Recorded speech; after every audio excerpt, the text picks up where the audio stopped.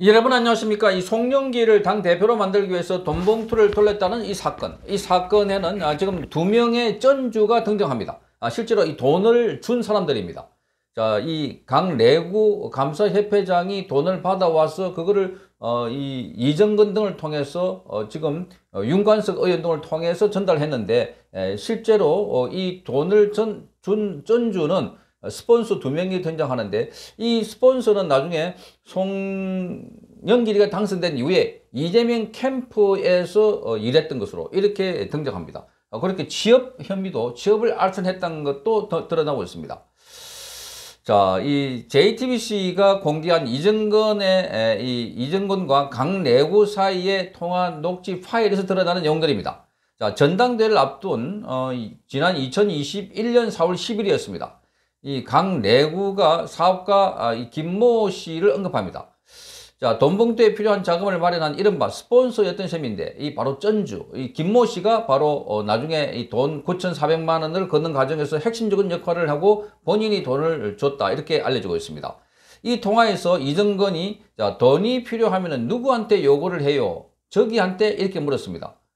또 누구누구한테 이렇게 말했습니다. 그러니까 돈이 필요하면은 누구한테 필요하냐, 요구를 하냐고 이 강 내구에게 묻습니다. 거기 실명도 누구누구한테라고 이름이 나옵니다. 그러자 강 내구는 아니, 사람이 그 사람 김씨밖에 없잖아. 다른 스폰은 있나? 이렇게 답합니다. 그러니까 이 김씨, 지금 돈을 준 이 사람에게 이야기를 모으고 있습니다. 또 다른 통화에서도 어, 이 김씨가 언급이 됩니다. 자, 강내구는 이렇게 말합니다. 누구누구가 형 월요일날 오면 밥값이 없다. 현찰로 좀 마련해줘라. 이런 얘기를 해놓으라고 말합니다. 자, 얼마? 그러면 천만 원 이렇게 얘기해야 된다. 이렇게 말하고 있습니다. 그러면 그 애는 백만 원을 생각하고 있다가 천만 원이라고 두들겨 맞기 때문에 오백만 원을 최소 갖고 올 거다. 아시겠죠? 이렇게 말하고 있습니다. 이러, 이러니까 여기 이정근은 와 진짜 엑기스 어, 엑기스 전수해 주시네요. 이렇게 말했습니다. 그러니까 누구누구 오면은 밥값이 없다. 현찰로 좀 해달라. 이렇게 말하는데 그런데 돈을 달라고 할 때 미리 천만 원을 얘기해야 된다고 합니다. 원래 밥값을 달라고 하면 한 백만 원 주려고 했는데 그런데 천만 원을 요구하게 되면은 자 백만 원의 다섯 배인 적어도 오백만 원을 갖고 온다는 겁니다. 그렇게 이야기하니까 이정근의 이야기를 듣고 있다가 와 진짜 엑기스를 전수해 준다. 돈을 어, 이렇게 갈취하는 방법도 정말 핵심이다 이렇게 이야기하고 있습니다. 처음부터 크게 불러라 질러라 이렇게 이야기하고 있는 걸로 보입니다. 자, 이 돈을 지원했다고 한 김 씨는 전당대회 이후에도 당시 송영길 캠프 인사들과 밀접한 교류를 이어간 것으로 보입니다. 자, 강 내구는 이전과 통화에서 이렇게 말합니다. 자, 김 누구누구 이런 고리들한테 말하자면 그 사람들한테 맨날 용돈이나 얻어쓰고 거기에 맞들여 있는 것 아니냐 이렇게 말했습니다. 자, 여기에 지금 어, 똥돈 얻어 쓰고 여기에 돈 주는데 빠져 있다. 그러니까 이런 사람들이 돈이 많기 때문에 여기에 용돈을 얻어 쓰고 있다는 걸 지금 말하고 있는 것입니다.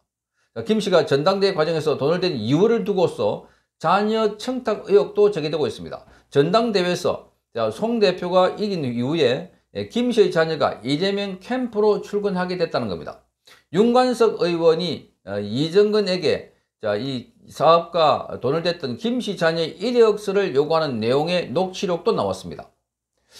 자, 민주당 당대표 선거 5개월 뒤인 2021년 10월 14일입니다. 어, 당 사무총장이었던 윤관석 의원은 이정근에게 텔레그램 메시지를 보내서 자, 김씨 자녀의 이력서를 달라고 했습니다.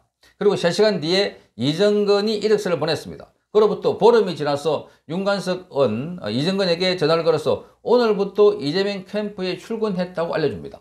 그러니까 그동안 돈을 어, 내준 사람은 김 씨고 그 돈이 어디 써 있냐? 송영길을 위해서 써 있는데 그런데 이재명 캠프에서 일하게 됐다는 거예요. 이재명. 그래서 송영길과 이재명과는 밀접한 관계가 있다는 걸 다시 한번 여기서도 다시 한번 확인해 볼 수 있는 대목입니다. 자, 윤관석은 어, 이정근에게 소문내지 말라 입단속을 시키기도 했습니다. 아, 이렇게 말합니다. 정무팀에 내가 넣었다. 이렇게 말하면서 촐랑거리고 또 여기저기 얘기하고 나다, 나다니지 말아라. 이렇게 주의를 줬습니다. 자, 그러니까 이정근이 나한테 얘기도 안 하던데, 그러니까 거기 그 정무팀에 갔다는 소리를 얘기 안 했던데 하니까 윤관석은 자, 김씨 자녀도 아마 전화를 받으면 아빠한테 먼저 하겠지. 그러니까 내가, 제가 제발 촐랑거리지 말고 가만히 있으라. 이렇게 당부했습니다. 그러니까 이정근이가 촐랑거리면서 말을 많이 한다는 걸 잘 알고 있는 윤관석인 것 같습니다. 그러니까 이 이정근 보고 입단속을 시키는 대목도 나오는 겁니다. 자, 이 김씨 자녀 청탁 의혹과 관련해서, 어, 이 김 씨는 어, 이렇게 다, 어, 언론 인터뷰에서 이렇게 말했습니다. 자, 당시 상황을 잘 알지 못했다. 이전에도 민주당 의원실에서 일을 많이 했다. 자원봉사 차원에서 이재명 캠프에서 일을 한 것이라고 해명했습니다. 자, 만약에 보수를 받지 않았더라도 유력 대선 후보 캠프에서 경력을 쌓을 기회를 얻은 것이라는 주장입니다. 자, 또 다른 녹취 파일에서는 김 씨 외에 또, 또 다른 한 명의 스폰서가 나옵니다. 바로 강 씨라고 지목되는 인물입니다. 강 씨에 대해서 이정근이 이렇게 말합니다. 그렇게 신경 안 써도 돼요. 아니, 그 다음에 그거 나중에 저거 하나 주면 돼. 이렇게 말합니다. 저거 하나 주면 돼. 그러자 윤관석 의원은 당직이라고 이렇게 묻습니다. 당직. 그런 거야 뭐 하나 찾아보면 되니까 라고 답합니다. 그러니까 돈을 받고 나중에 당직을 준다 하는 이야기를 하고 있습니다. 정말 이게 매관 매직이 아닌가. 자, 스폰서로부터 돈을 받고 그 자녀들에게 당직을 나눠주는 수법으로 이렇게 돈을 받아왔다 하는 것을 알 수가 있는 대목입니다. 자, 이 두 사람이 강 씨와 했던 약 골프 약속을 바꾸는 과정에서 나온 대화 내용입니다. 자, 강 씨 입장을 너무 신경 쓰지 말고 나중에 당직을 주면 된다는 겁니다. 그러니까 일단 돈을 받고 어, 나중에 뭐 그 자녀들에게 당직 하나만 주면 된다. 이런 식으로 철저하게 이용하고 있다는 대목도 읽혀지고 있습니다. 자, 어쨌든 이런 상황에서 검찰은 이 강 내구에 대한 구속영장을 어제 청구했습니다. 자, 이번 사건과 관련해서 구속영장이 청구된 것은 처음입니다. 강 내구는 2021년 3월부터 5일 민주당의 당직자 등과 함께 공모해서 전당대회에서 송영기를 당선시키기 위해서 모두 9,400만 원을 살포하는 등의 선거인 등에게 금품을 주고 지시 권유한 혐의를 받고 있습니다. 자, 검찰은 강 내구와 윤관석이 금품 조성 전달 과정을 주도한 것으로 보고 있습니다. 자, 불법 자금 9,400만 원 중에 8천만 원을 어, 각 내구가 대전 지역 사업가 등으로부터 조달한 것으로 파악하고 있습니다. 검찰은 이 가운데 6천만 원이 2021년 4월 달에 송영길의 보좌관을 지낸 박모 씨 그리고 이정근을 거쳐서 윤관석에게 전달된 것으로 보고 있는 것입니다.